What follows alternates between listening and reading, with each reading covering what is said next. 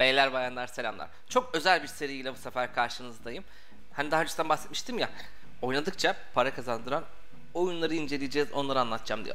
Bu oyunların arasında Play to Earn oyun modelini en iyi kullanan en baba oyunu serisini yapıyorum. Hangi oyun bu? Tabii ki de X Infinity. Bu seride neler olacak? Baştan sona işte X Infinity'ye bir girişini yapacağız. Nedir, ne değildir, ne kazanırsınız, ne kadar harcarsınız. Daha sonrasında harcama yaparken dikkat etmeniz gereken şeyler. Nasıl harcama yapabileceğiniz ki bu durumda cüzdan kurumları, nasıl parayı aktaracaksınız, markete nasıl aktaracaksınız, oyuna girdiğinizde neler olacak, nelere dikkat etmeniz gerekiyor, daha çok nasıl kazanabilirsiniz gibi bir sürü video hazırlayacağım size. Baştan sona eğer bu işe girişecekseniz ya da hali hazırda oynayıp daha fazla kazanmak istiyorsanız e, tüm bu sorularınızın cevaplarını bu seride göreceksiniz arkadaşlar.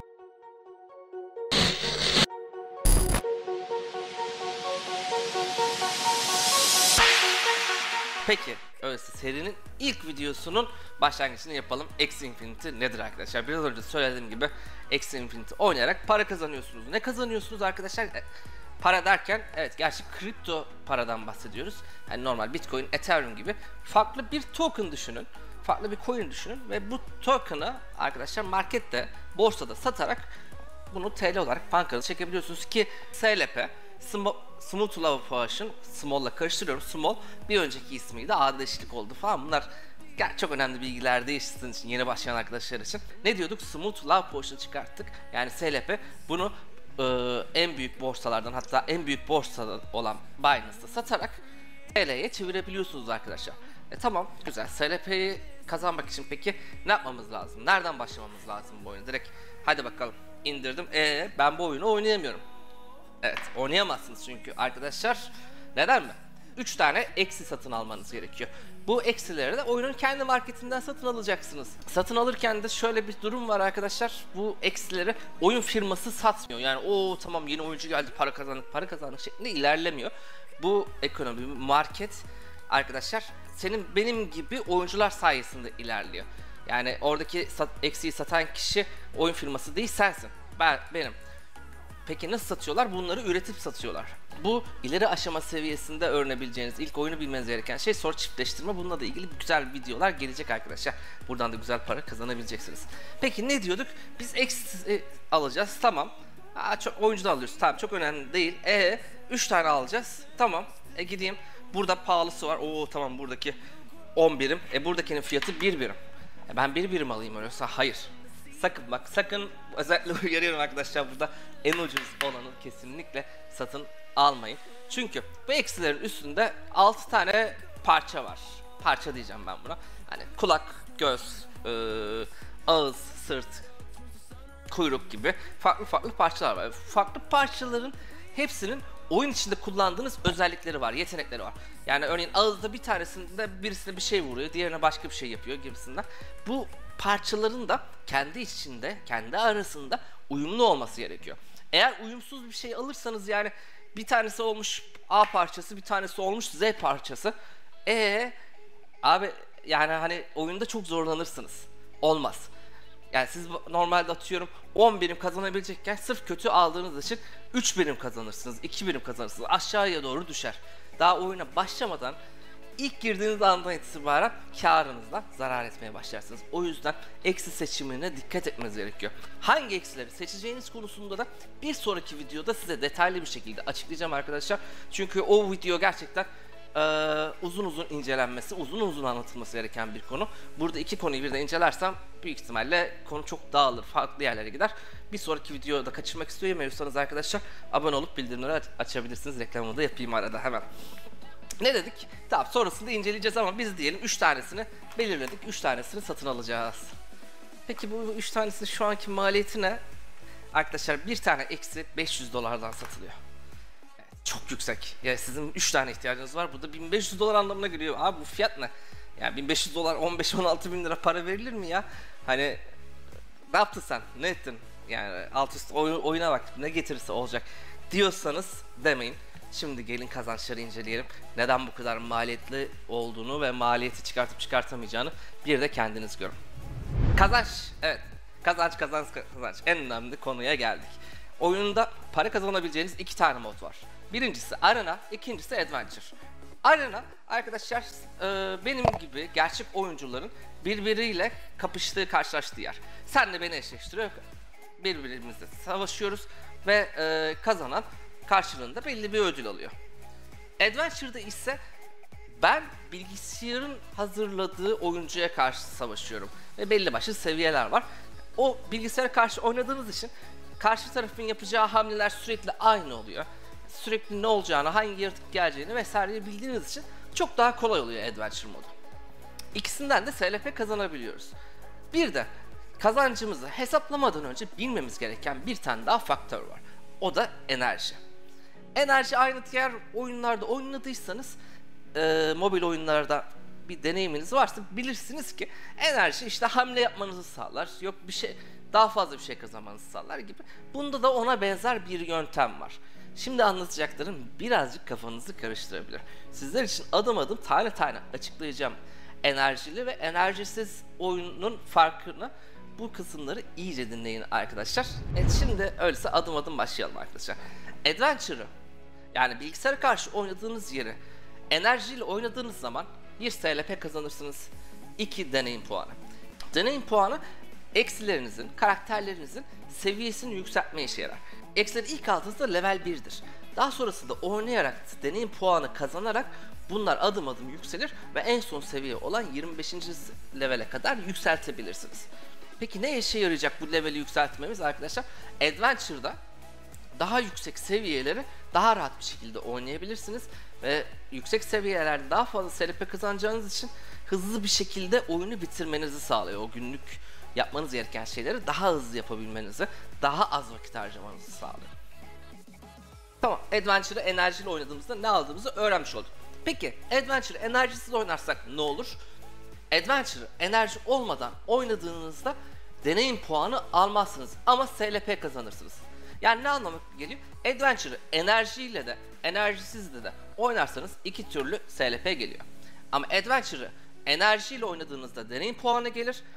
Adventure'ı enerjisiz oynadığınızda deneyim puanı gelmez. Birinci bilmemiz gereken şeyi öğrendik.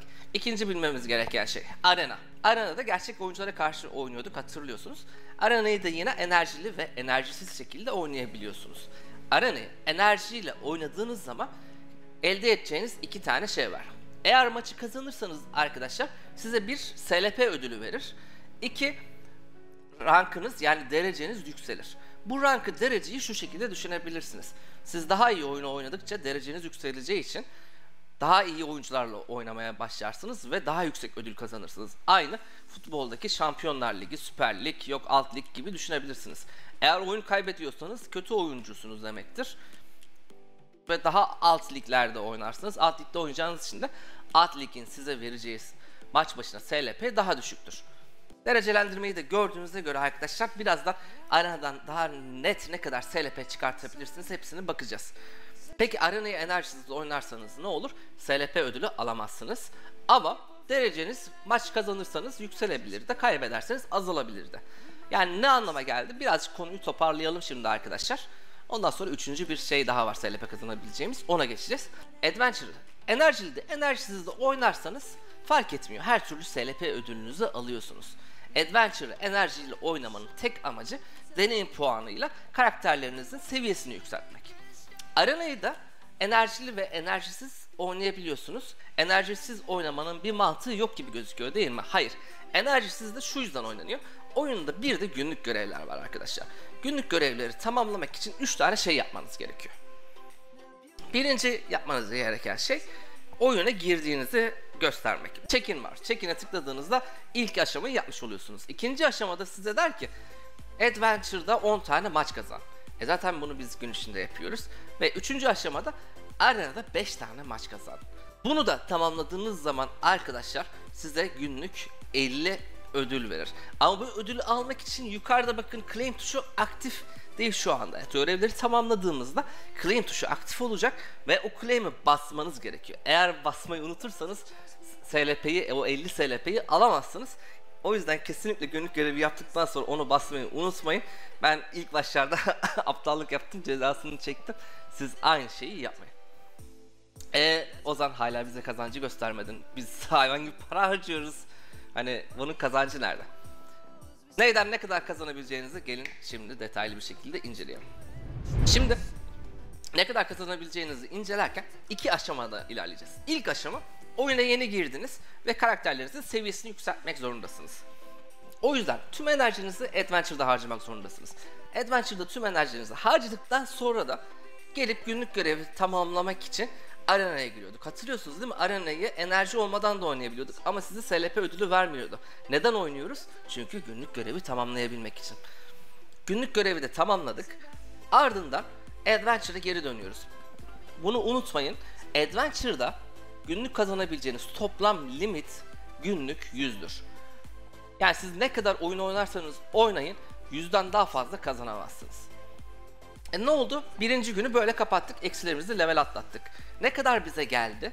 Adventure'dan günlük sınırımız olan 100'ü aldık ve aynı şekilde günlük görevden de 50'mizi topladık. Bu ne anlama geliyor? Siz en kötü oyuncu olsanız da öf berbatsınız berbat berbat berbat. Fark etmez abi. Yapabileceğiniz en düşük miktar 150 zaten. Yani eşek bile olsan o 150 SLP'yi çıkartabilirsin. Elindeki eksiler en kötü eksiler. En gittin uyumsuzluğunu aldı. Evet seni uğraştırır. Arenada maç kazanamazsın. Evet çok uğraştırır belki ama yine o günlük 150 limiti alırsın. Yani arkadaşlar 150 bizim en alt limitimiz. Bu şekilde düşünebilirsiniz. Peki ikinci adıma geçtik. Eksilerinizin levelini kastınız. Bu da yaklaşık olarak ara bilgi vereyim. 3 hafta ila 4 hafta arası sürüyor. Ama biz genel olarak 1 ay diyoruz. 1 ay süreci atlattınız. Her gün günlük 150'nizi kastınız. Ardından da birinci aydan itibaren artık karakterleriniz full level. E full level olduğu için sizin deneyim puanına ihtiyacınız yok. Deneyim puanını nereden alıyorduk? Adventure'ı enerjiyle oynarken. E artık demek ki Adventure'ı enerjiyle oynamamıza gerek yok. Tüm enerjimizi arenaya saklayabiliriz. E arenada oynamaya başladık arkadaşlar. Ve buradaki kazancı hesaplamayı ben yaklaşık ortalama bir değer vereceğim size. Çünkü bunun tam doğrusu ya da yanlışı net bir hesabı yok. Ama genelde oyuncular, orta seviye oyuncular kazandıkları maç başına 7 SLP alırlar.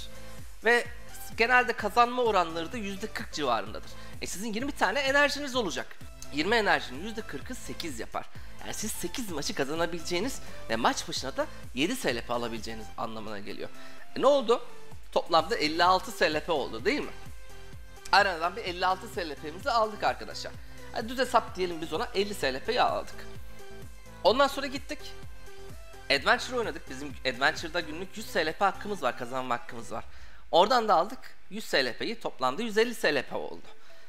E son almamız gereken şey ne? E, bir tane daha yerden para kazanabiliyorduk. Üçüncü şey günlük görevler. E günlük görevleri zaten bu arada tamamlamış olduk. Gittik sadece bir daily check-in'e bastık. Ve ardından 50 claim'e bastık. Bize geldi 50 SLP daha toplamda 200 SLP oldu. Yani artı eksi olabilir. Bu tamamen sizin arenadaki performansa bağlı olarak değişecek bir şey ama ortalama 200 SLP hesaplamak gayet idealdir. Şimdi toparlamak gerekirse ne oldu arkadaşlar? En düşük 150 SLP çıkartıyorsanız eşek olsanız bile ilk bir ayda level kasma sürecinde maalesef 150 yapıyoruz. Ardından günlük 200 SLP. Hadi gelin şimdi güncel kurdan bir hesaplamamızı yapalım arkadaşlar. Ne demiştik? Günlük 150 SLP'den aylık 4500 SLP yapar. Bu da şu anlama gelir arkadaşlar 966 dolar gibi bir şey yapar. Bu tabii ki de SLP'nin şu anki güncel kuruna göre. Bu daha da az da olabilir, daha da yükselebilir. Ama hadi bir tık daha yükseldi diyelim, iş hesaplamamız kolay olsun. Aylık 1000 dolar para yaparsınız. Peki ikinci ayda 6000 yani günlük 200'den 30 günde 6000 SLP çıkartırsanız 1288 dolar yapar.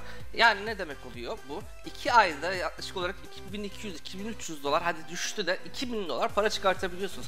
E sizin masrafınız zaten 1500 dolar. Bu da bir buçuk ayda yatırımınızı çıkartabileceğiniz anlamına geliyor. Tabi ben burada bunun garantisini veremem arkadaşlar. Riskli işlemler. Ee, ben sadece kendi deneyimimi anlatıyorum. Ben ilk girdiğimde 2000 liraya aldım. O zamanlar çok daha düşük kazanıyordum. O işte bu sürece kadar yükselttim, daha fazla takım oluşturdum vesaire derken şu an güzel takımlarım var ve iyi bir şekilde kazanıyorum burada. Ama buna girip girmemek tamamen sizin vereceğiniz karar arkadaşlar. Kazancı da gördüğümüze göre e, maliyeti de yüksekti. Abi çok mantıklıymış ama ya bende bu kadar para yok ben ne yapacağım yani diyorsanız bir yol daha göstereceğim şimdi size. Özetini geçeceğim daha doğrusu. O da scholarship olarak geçiyor. Ne peki bu scholarship arkadaşlar? Sizin hiçbir para vermeden yani bu takımı satın almadan bu oyunu oynayıp cebinize para koyabileceğiniz anlamına geliyor. Ya mümkün mü böyle bir şey? Ne alaka yani hani ben insanlar niye öyle bu karakterleri satın alıyor diyorsanız arkadaşlar iş şöyle yürüyor. Ben hesabı satın aldım. Ama multi hesap yapmak yasak bu oyunda yani ikinci üçüncü hesabı oynayamıyorsunuz. Tek hesapla oynayabilirsiniz. Ama bende ikinci hesap var. Sana dedim ki ya Ahmet senin bunu oynamaya herhalde şeyin yok. Oynamak da istiyorsun. Tamam al güzel sen benim hesabımla oyna. Kazandığın SLP'yi de yarı yarıya bölüşelim. Karşı taraf yani emeğini koyuyor. Hesabı veren taraf da sermayesini koyuyor. Ortada buluşuyorlar ve anlaştıkları oran üstünden belirli e, dönemlerde SLP'leri yarıya kırışıyorlar. Aylık da olabilir, iki haftada bir de olabilir. Bu tamamen aranızda yapacağınız anlaşmaya bağlı. Evet bu şekilde siz emeğinizi ortaya koyarak da yapabilirsiniz. E peki hesap verecek insanları nereden bulabilirim? Bununla ilgili Telegram gruplarına girebilirsiniz. Discord gruplarına girebilirsiniz. Aynı zamanda ben de çok yakında bununla ilgili güzel bir proje oluşturacağım. Benim de altında bir sürü çalışan var. Ama aynı zamanda siz takipçiler için de özel bir şey yapacağım. Ne yapacağım? Yayın açıp oradan sadakat puanıyla bedavadan bu işe girebilmeye hak kazanacaksınız. Yani bedavadan girmek derken de bu arada gerçekten bir iş gibi düşünün. Günde 2-3 saat vaktinizi ayırarak arkadaşlar 5000 4000 lira para kazanabileceksiniz. Genel olarak bu scholarship böyle yürüyor. Daha bunun detayları var. Hani hesap koruma yöntemleri vesairesi. Neler yapmanız gerekiyor, karşı tarafta kuralları seçerken nelere uyması gerekiyor. Bu da tamamen ayrı bir video konusu. Çok uzun sürecek. O yüzden şimdilik es geçiyorum. Daha detaylı bir şekilde tekrardan ileride anlatacağım. Bir sonraki videoda da arkadaşlar her şeyi şimdi öğrendiniz biliyorum. Tamam o güzel kazandırıyormuş kafanıza yattı. E, eksi seçmek istiyorsunuz ama hangi eksileri seçeceğinizi bir sonraki videoda arkadaşlar gösteriyor olacağım. O videoyu kaçırmak istemiyorsanız abone olup bildirimleri açabilirsiniz. Yine reklamı çaktırma arada çaktırmayın. Bir sonraki videoda görüşmek üzere. Kendinize iyi bakın. Hoşçakalın.